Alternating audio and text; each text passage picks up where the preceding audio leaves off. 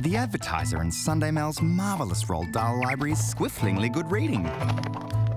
Collect all 14 books for just 260 each when you buy the paper. Book and paper max price 560.